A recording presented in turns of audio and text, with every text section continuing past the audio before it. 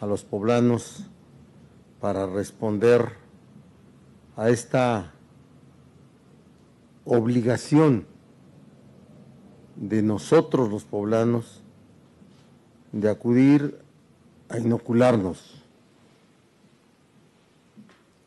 Puebla tuvo varios momentos en esta que ha sido una gran, gran, gran labor, pero que hoy se ha convertido, ha tenido una gran expertise, como ha ocurrido en muchas partes del país, y se es muy eficiente en la aplicación de las vacunas, muy eficiente se es.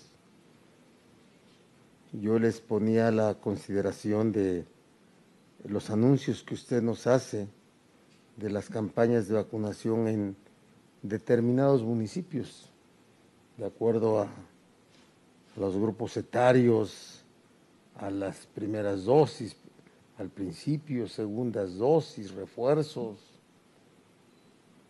Y habla usted de 40, 50, 70 municipios. Y saber toda la logística que se desarrolla para llevar los biológicos y aplicarlos en esos municipios es una labor de verdad que no se conoce, ¿eh? que no se conoce. Y no es porque